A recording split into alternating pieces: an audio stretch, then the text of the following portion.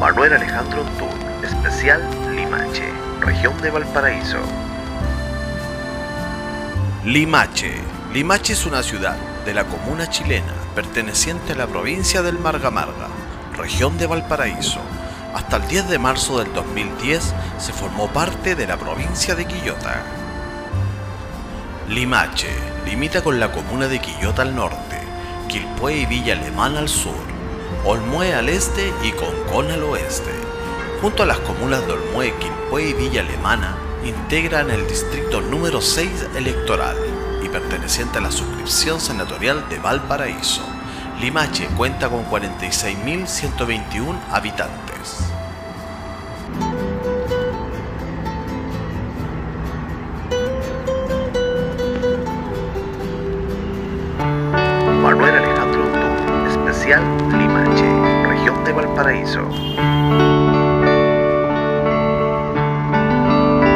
¿Por qué se llama Limache?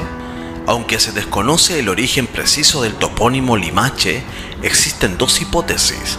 Según Benjamín Vicuña Maquena, el nombre de Limache previene del Ji, que significa peñasco, y de Machi, que significa del brujo. Esta hipótesis se relaciona con la leyenda indígena, según el cual del Cerro La Campana era un peñasco lleno de oro.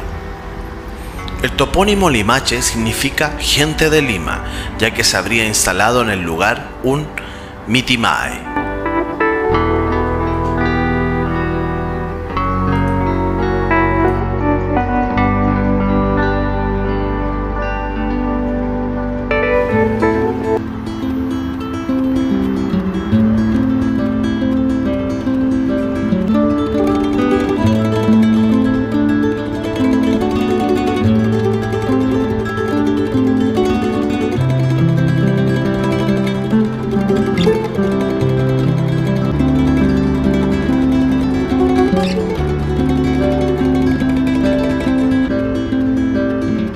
Los hallazgos arqueológicos indican que el Valle de Limache fue ocupado por la cultura de la Concagua.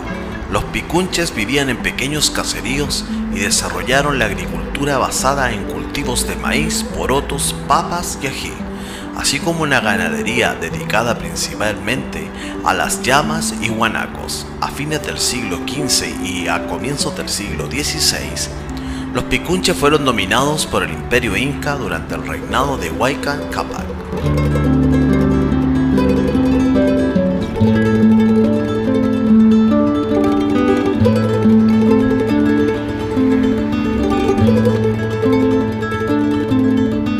Manuel Alejandro especial Limache, El de tomate limachino antiguo, denominado vulgarmente como tomate limachino, es una variedad cultivada del tomate, del solalum y el licopersicum, se utiliza ampliamente en la gastronomía chilena. El tomate limachino antiguo ha sido cultivado históricamente en el Valle de Limache, en la región de Valparaíso. El tomate limachino antiguo se utiliza aún por sus excelentes propiedades sensoriales, como el color, sabor, aroma y textura, y su alto contenido de compuestos bioactivos y licopeno. Además de su importancia como hortaliza, esta variedad presenta entrenudos de tamaños medio y buena cobertura foliar. Las principales desventajas son su cosecha concentrada y su escasa vida de posterior a la cosecha, que no supera los cuatro días.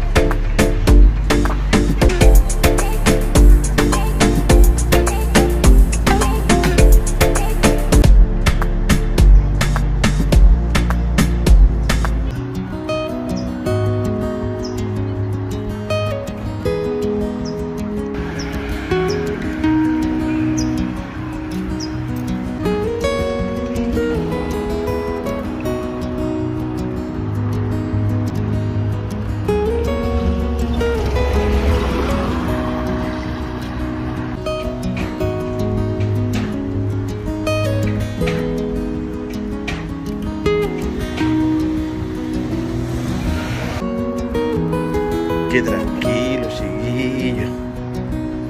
Súper hermoso, súper precioso.